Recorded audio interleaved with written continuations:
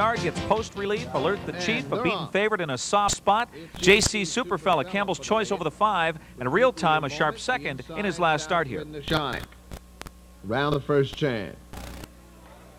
JC's Super Fella surging up on the outside for Campbell to clear the lead with Nuclear Moment second.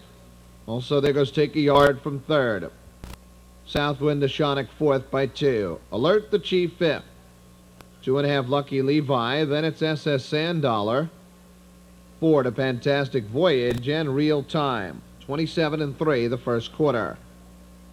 And Take a Yard has the lead a length and a half. JC Super Fella second by two.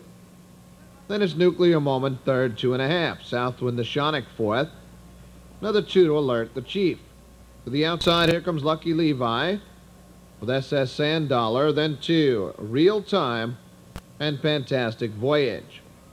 Half 55 and two. And Take a Yard with a length and a half lead. JC Super Fella second. Moving steadily is Alert the Chief third. Then it's Lucky Levi in fourth with Nuclear Moment fifth. SS Sandollar sixth. They approach three quarters and take a yard. Leads at three parts of length.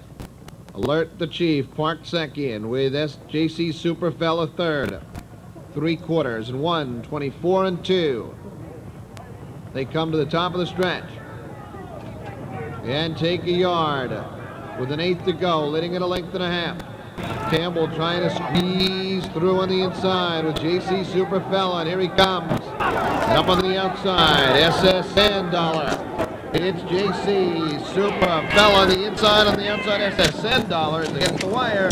Campbell takes it with JC Super Fella in 154 and 1. It's a maiden breaking win for JC Super Fella under the nom de course of owner Joe Caputo. And he did it despite a 29 day layoff, but trainer Joe Holloway switched his bridle around, and, and apparently it worked. What a season for the sire Cam Fella, who'll be inducted into the Hall of Fame on July the 5th.